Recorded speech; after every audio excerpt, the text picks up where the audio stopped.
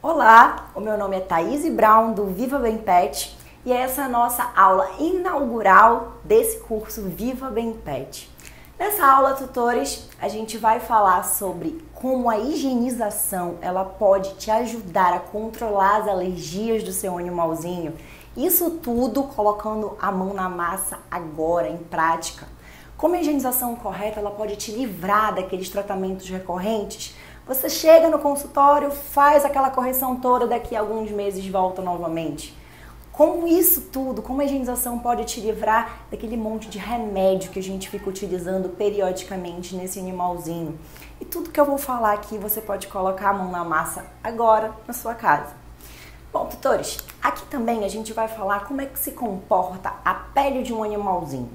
O que, que ela está falando? Ela dá sinais para gente do que a gente precisa utilizar nessa pele. O, qual, o sinal que o animalzinho precisa naquele momento.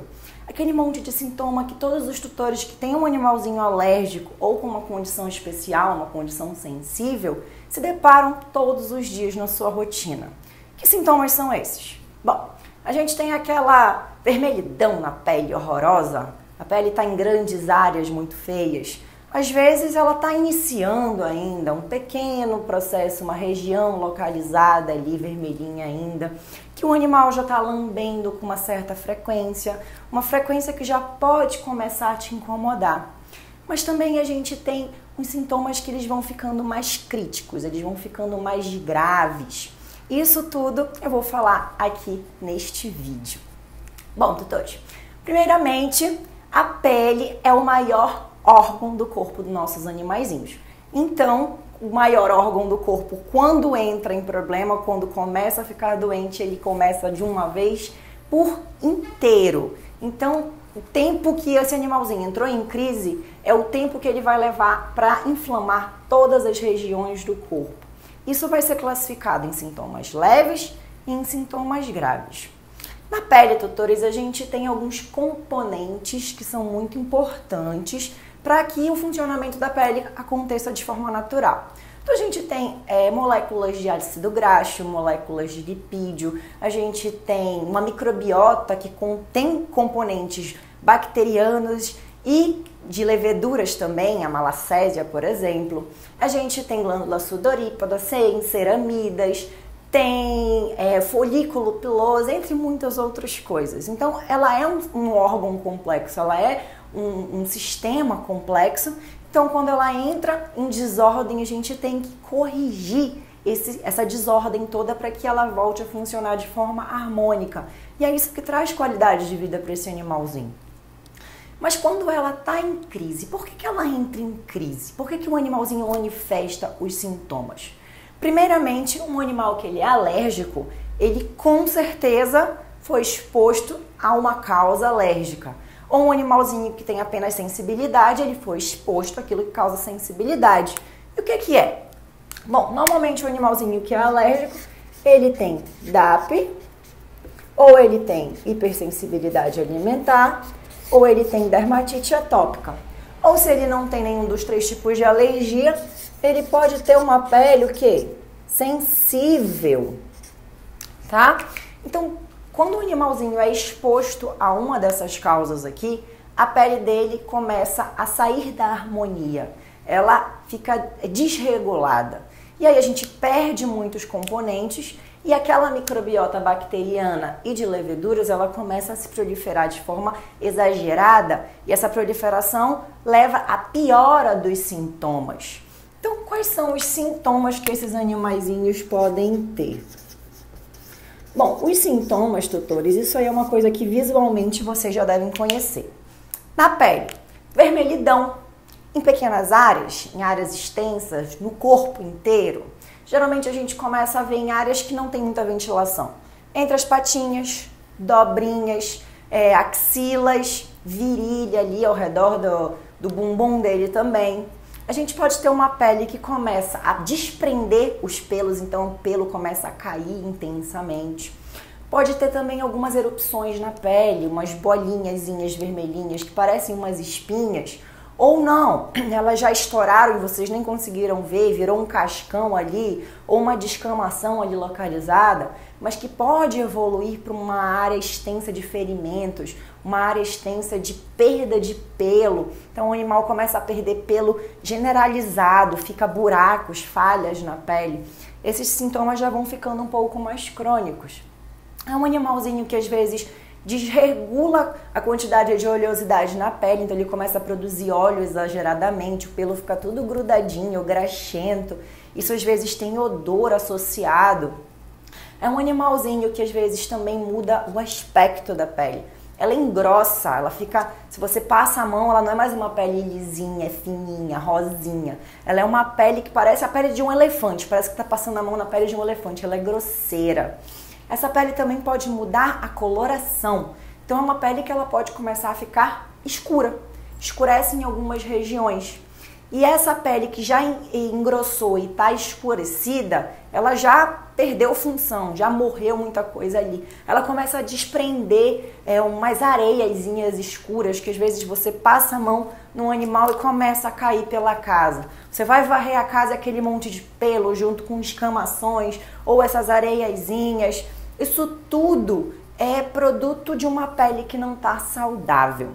Mas, tutores, tudo isso, todos esses sintomas feios, que tem vários graus para acontecer, eles apenas são consequência de um animal que entrou em contato com uma causa alérgica. Então, esse animalzinho, ele entrou em contato com qualquer coisa, ele entrou em um processo de alergia. E a alergia, ela é um defeito genético. Então, o DNA desse animalzinho é errado. Tem alguma alteração ali que já veio do pai, da mãe, do avô, do, da avó.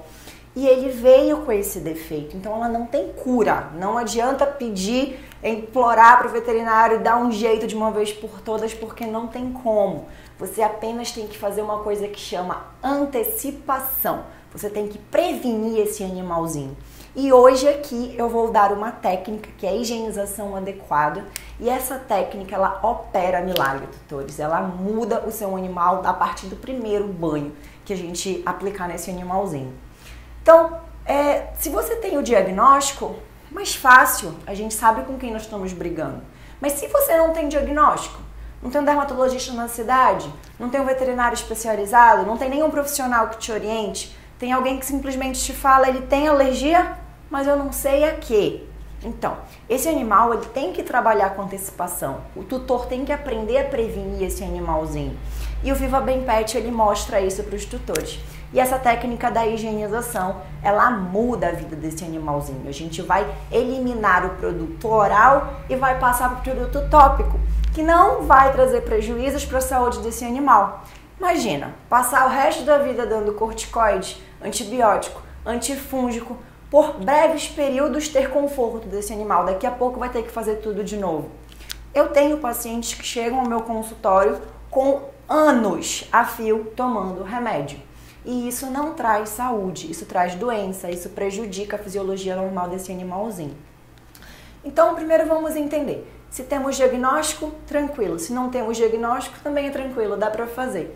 Se o seu animalzinho tem alergia, ele precisa de prevenção. Se o seu animalzinho tem apenas sensibilidade, ele precisa de prevenção também. E isso eu posso te mostrar através de um caso é, recente meu de uma paciente chamada Estrela. A dona Estrela Tutores, ela é uma cachorrinha sem raça definida.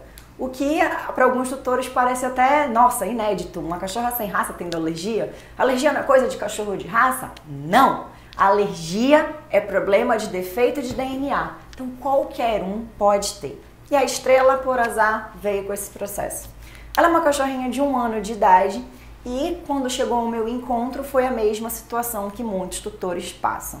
Já passaram por N veterinários, por tratamentos milagrosos, né? Receitinhas da internet, aquele erro de perguntar para outro tutor o que, que acha que pode resolver porque funcionou com o cachorro dele, pode ser utilizado no meu.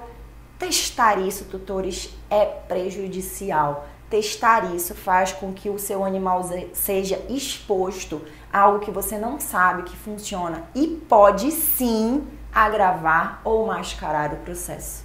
E no caso da dona Estrela, piorou o processo, tá bom? Então o que aconteceu com a Estrela?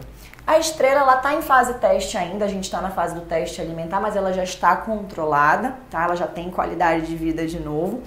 E ela estava utilizando um produto para banho. Ah, só que o que a pele dela tinha era B. E o que, que aconteceu? A pele da estrela inflamou de uma forma absurda num período de dois meses, que foi o tempo que o tutor utilizou esse produto. E foi muito sensível para ela. Ela é uma cachorrinha muito sensível. Ela tem alergia, mas ela tem uma sensibilidade muito grande quando ela entra em crise. E ela entra em crise rapidamente, os processos de leve chegam a críticos muito rápidos. E o produto que ela estava utilizando para higienização só estava piorando o processo. Então ela era uma cadelinha que com um ano de idade ela não é, se levantava, ela só queria saber de dormir o dia todo, por quê? Ela passava a noite inteira se coçando. Era uma cadelinha que não ganhava peso, por quê? Porque ela deixava de comer para estar tá se coçando. Era uma cadelinha que não era feliz. Você via no olhar dela que ela não parecia mais um, um cachorro que acabou de sair da idade de filhote, um ano de idade. Ela era uma cachorrinha que tinha a cara de uma cachorrinha de 10 anos de idade, completamente diferente. A pele já estava completamente inflamada, alterada. Ela tinha edema em várias áreas, ela abriu feridas em várias áreas, praticamente toda sem pelo. E ela estava muito triste. Era nítido de, nítido de se ver, o olhar dela era triste. Então, quando a gente chegou em consultório, eu já vi o problema de cara. Ela estava utilizando um produto errado para correção da crise. Não tinha nada a ver com o processo alérgico. Mas, como eles não sabiam dos métodos preventivos, ela sempre estava sendo exposta ao processo alérgico e isso piorava cada vez mais. Então, dentro de consultório, a primeira coisa que eu fiz foi trocar o produto dela. E isso, tutores, já melhorou assim gritantemente. Em 20 dias a estrela já era outra. A pele tinha mudado de aspecto, o humor tinha mudado, ela já estava dormindo, ela já estava se alimentando, ela ganhou peso, o pelo cresceu de novo. Tudo porque nós trocamos simplesmente o produto de banho. Então, o produto que você vai utilizar para higienizar esse animalzinho, ele vai fazer diferença, tanto para o bem quanto para o mal. Então, se usar o errado, ele vai piorar. Se usar para o bem, ele vai ajeitar, ele vai corrigir. É por isso que eu digo que o processo de higienização, ele opera milagre sim para o animalzinho que tem alergia ou sensibilidade. Então a gente ajustou isso aqui, tirou ela da crise, ela passou para a próxima etapa e ela está controlada. E os pais dela já sabem o que, que é a prevenção e a importância que ela tem.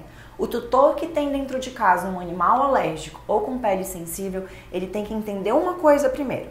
Ele não tem um animal comum, ele tem um animal especial. Então ele precisa de uma rotina com uma condição especial, uma rotina cheia de critérios e detalhes, porque esse animalzinho não entre em crises periódicas. Porque se ele entrar em crise, o tutor só vai para dentro de consultório para corrigir a crise, não vai curar nada e nem sempre ele consegue alcançar o controle dessa crise dentro de um consultório. E é mais difícil ainda quando ele tem a mão de informações da internet ou de terceiros. As chances são muito menores, tudo bem? Então, a estrela já está com parte do diagnóstico dela e a prevenção dela está toda em dia.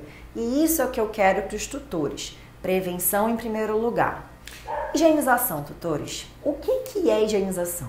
É simplesmente botar um animal dentro da área de banho, aplicar um produto e terminou o banho? Não, não é simplesmente ensaboar, enxugou e tá pronto. Tem técnicas diferentes, tem escolha de produto. Por quê? A pele, ela diz o que ela quer. Ela conversa com você. E o tutor precisa entender a linguagem da pele para poder escolher o produto que ela está precisando. A gente vai ver alguns aqui. Bom, uma pele que ela tá em crise, tutores,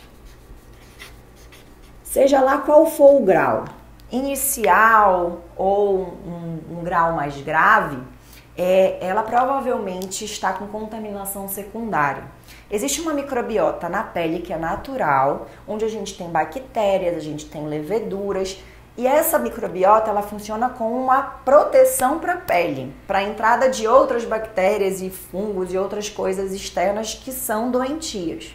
Mas quando o animal ele é exposto a uma causa alérgica e ele entra em queda de imunidade, entra em inflamação, essa microbiota começa a se proliferar. E ela vai crescendo, crescendo, crescendo e a gente começa a ter os sintomas. Por quê? A reação inflamatória dela gera isso. E aí ela vai ficando vermelha, ela vai ficando oleosa, ela vai enchendo de feridas, ela vai perdendo pelo e assim por diante. Então, o animal que está em crise, ele primeiro precisa regular essa microbiota. A gente tem que diminuir a quantidade de bactérias e de leveduras na pele desse animal para a quantidade normal. E como é que a gente faz isso? Bom, tem duas formas. Uma, se você for num consultório veterinário, ele vai te passar uma prescrição. Se ele souber fazer esse diagnóstico certinho, ele vai passar uma prescrição e o produto certo, o problema certo, vai dar certo. Segunda forma, e essa forma ela é mais rápida. E a segunda forma é através de produtos terapêuticos, fitoterápicos, produtos que não têm contraindicação.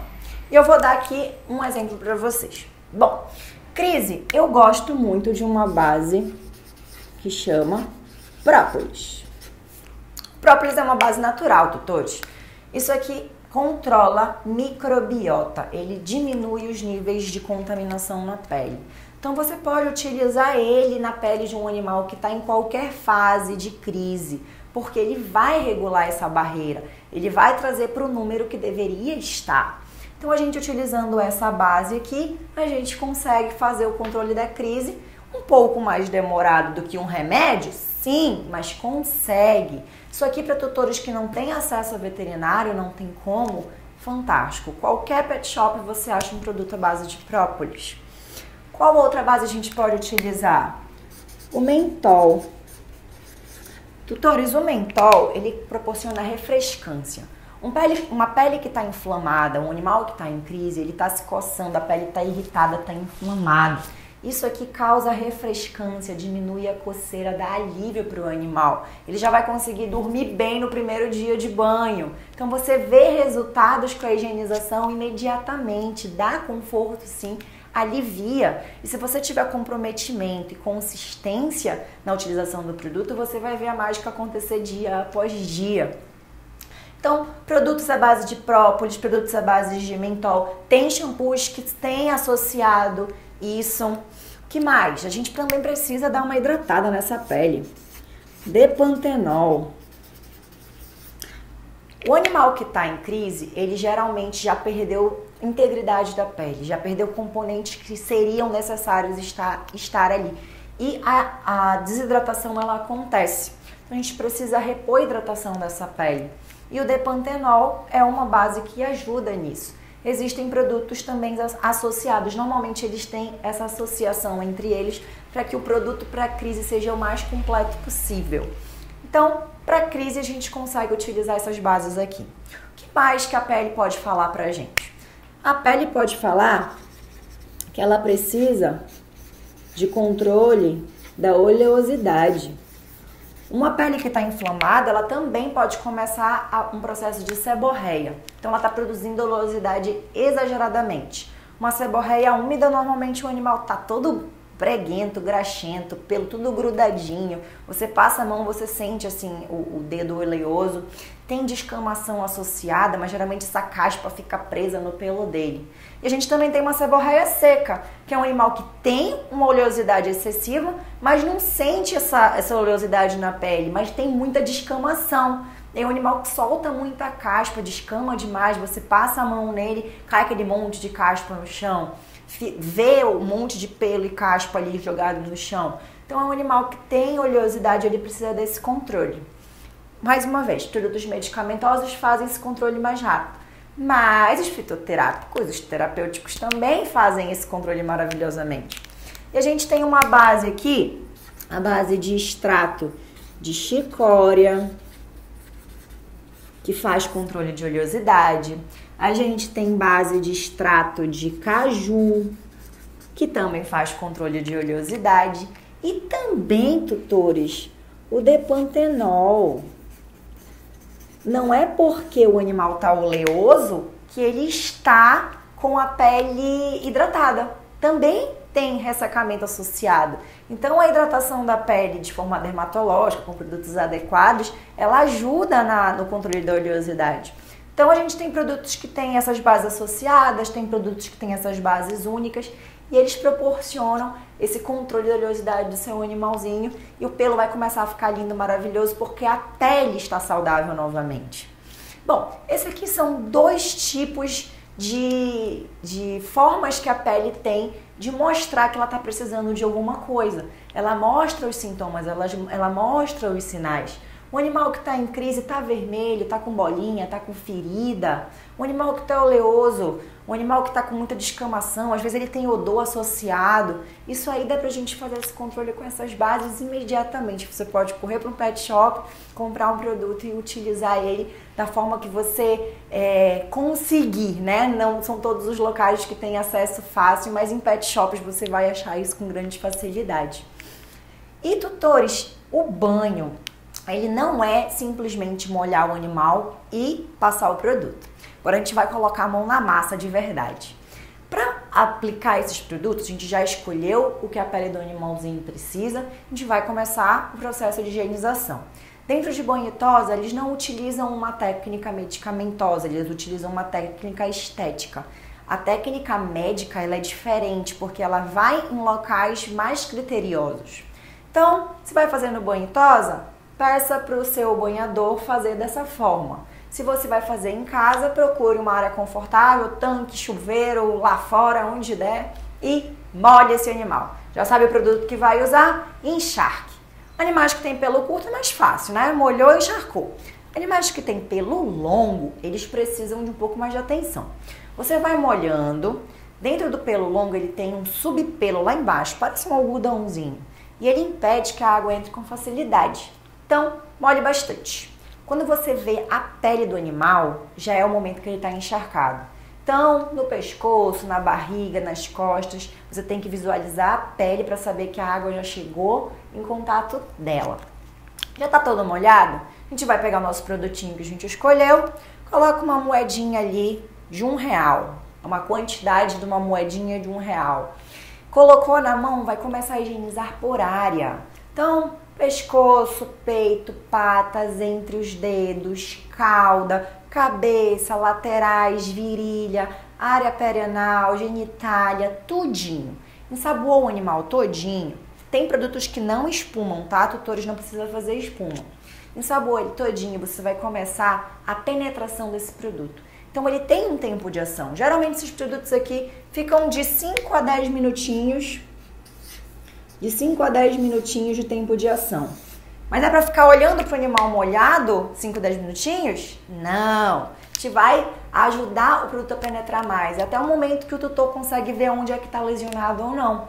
Então comece a esfregar o produto da pele dele, onde está lesionado. Esfregue com mais é, vontade. Se tiver secreção, se tiver uma crosta, uma ferida ali, Vá fazendo uma massagem para diluir aquele cascão, para sair aquelas caspinhas.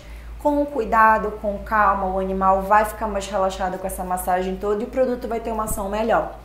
Nesses 5 ou 10 minutinhos, o tutor também vai começar a lavar as patinhas, as dobrinhas, dobrinha de cauda, se for um bulldog, um pug, por exemplo. Entre os dedinhos, abra os dedinhos, lave com vontade, escove as unhas do animal, na unha do animal, agarra a secreção. Secreção é meio de cultura, precisa de escovação também. Então, começou a fazer todo esse processo de massagem, escovação, lavagem de dobrinha, de prega, de tudo. Nesses 5 a 10 minutinhos você consegue fazer tudo isso. E aí o produto já penetrou. Enxágua, enxágua, enxágua, enxágua. O animal está muito oleoso, eu quero passar o produto de novo. Pode? Pode, não tem problema nenhum. Da mesma forma, mesma massagem, mesmo escovação mesmo, tudo. E enxágue. Enxágue, enxágue, enxágue. O produto não pode ficar na pele, tutor tem que sair da pele, não pode ficar resíduo, senão vai irritar. Então enxágue abundantemente até a água sair fluida, clara, limpinha e pronto. Agora é o momento da gente secar o animalzinho. E a secagem, tutor, ela é a cereja em cima do bolo. Por quê? Pele úmida também proporciona um, um ambiente propício à proliferação desses micro-organismos aqui. Então vamos secar. Se vai fazer no banho tosa, eles secam lindamente. Tem um aparelho lá que chama soprador que faz a secagem porque melhor. Por quê? Porque ele retira a água debaixo da pele. Então quando ele retira a água debaixo da pele, a gente consegue passar o secador e secar. O secador ele é finalizador. Ele não pode ser utilizado para secar tudo, porque ele vai esquentar a água na pele do animal e isso vai irritar, pode queimar a pele. Então, comece pela toalha. Se tiver no banho tosa, vai para o soprador, por último secador. Se tiver em casa, geralmente não tem soprador. Então, utilize toalhas. Sim, toalhas no plural. Uma toalha, duas toalhas para um animal que tem o pelo curto já são suficientes muitas das vezes, até que a última toalha saia completamente seca ou o mais seca possível, tá? Não adianta passar rapidinho e deixar ele secar no sol, isso não seca, tá bom? E animais que têm pelo comprido, muitas toalhas. Você tem que tirar o máximo de água de dentro dos pelos desse animalzinho. Duas, três, quatro toalhas, não sei, é um shih é um golden você vai precisar de muitas toalhas para secar esse animal o máximo que puder e finalizar com o secador. Só as pontas dos pelos vão ser secas com o secador. Tudo bem? O animal está sequinho, já está higienizado, higienizado adequadamente. Você vê resultados desde o primeiro banho, tutores, vale a pena testar. E tudo isso que eu falei para você é apenas uma parte, uma ponta do iceberg gigantesco que existe na rotina do tutor que tem um animalzinho alérgico. E foi por isso que eu fiz, masterizei um curso online que chama Viva Bem Pet. Viva Bem Pet Tutores é um manual de instrução para o tutor que tem animal alérgico, onde mostra para ele tudo o que ele precisa saber para a criação de uma nova rotina, para ter novos hábitos criteriosos, tal qual um pai que tem uma criança alérgica em casa. Então ele vai te dar o norte, ele é a bússola que vai te guiar por toda essa jornada para o resto da vida desse animal. Porque alergia não tem cura, alergia tem controle. Então vamos lá conhecer a nossa área de membros. Se você realmente deseja ter o controle das alergias do seu animal e evitar os tratamentos recorrentes, o Viva Bem Pet é o caminho. O programa tem sete módulos no seu todo, passando desde a formação de uma nova rotina até a consistência do método. São 50 videoaulas com mais de 6 horas de conteúdo, onde eu explico todo o caminho da sua jornada, desde o produto que pode utilizar na limpeza da casa, técnicas de higienização para esse animal que tem uma condição especial, até a construção do muro de proteção que irá blindar o seu animal de todos os lados o responsável por afastar as crises para bem longe e o que te fará parar de gastar com tratamentos recorrentes. Vale ressaltar que o Viva Bem Pet não é um tratamento, e sim um método de controle das alergias através da prevenção. Além das aulas e de todo esse conteúdo, você contará com um guia complementar, que serve de suporte para o aluno, onde contém todos os tipos de prevenção, como, quando e onde devem ser utilizados. Tudo isso para evitar e dificultar a aparição de uma nova crise. Com isso, tutor, fazendo o método Viva Bem Pet à risca, com consistência, deixará o animal livre para ter uma vida saudável e longe dos antibióticos e corticoides, oferecendo conforto, com segurança e a orientação necessária.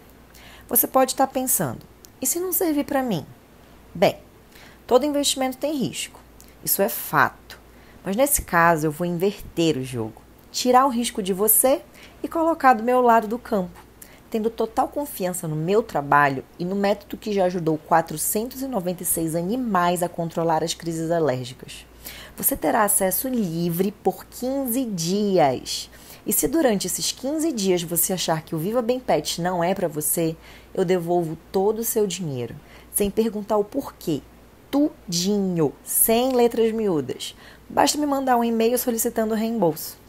É o meu comprometimento e o meu trabalho que está em jogo. Então, a hora de entrar é agora. Ainda não sei quando abrirei novamente, mas de uma coisa eu tenho certeza: só ano que vem. Que tal começar o ano com seu pet saudável e com qualidade de vida? Esteja um passo à frente do problema. Clique no botão abaixo e faça sua matrícula.